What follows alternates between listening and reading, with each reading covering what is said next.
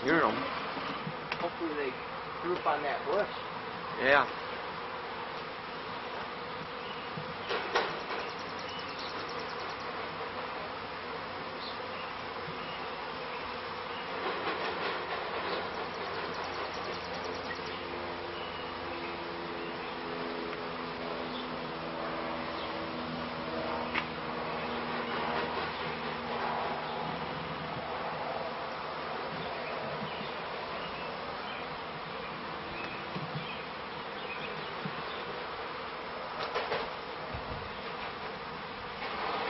Up on the roof.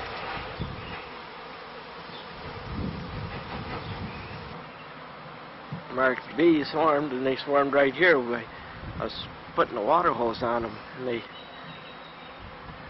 Hopefully the queen is right there too. S-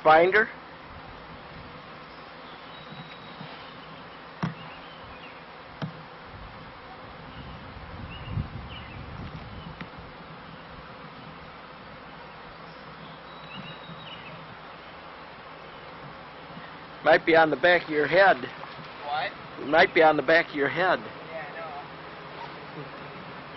I know. And your helmet is loaded with them.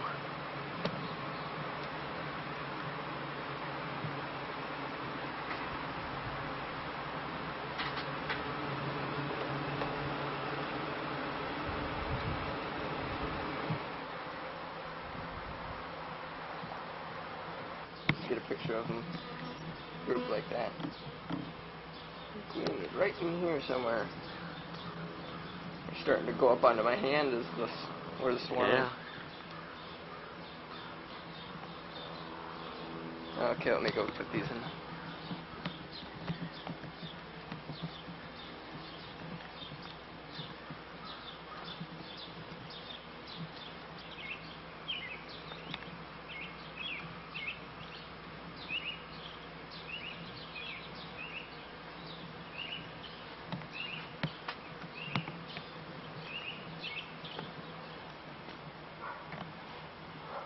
Never got any green peppers last year because they were down there. I love.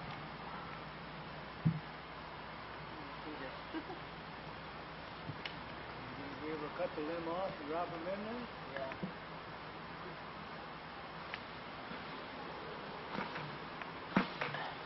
Oh dear.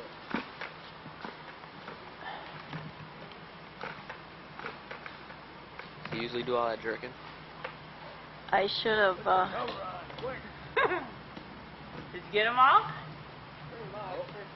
Sure you got something there, but Sure you have it if you got the queen. Well, if I don't, then got don't make good it slug of them. You should have two pails.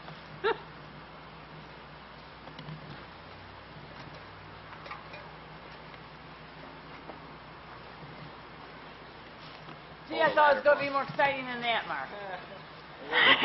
I'm glad it wasn't, Jeannie. I thought we were all going to have to make a mad dash here at least. Come flying off that roof, huh? This bucket is heavy. Probably about four pounds of bees in there. Well, I wouldn't doubt it. That was quite a group up there, y'all.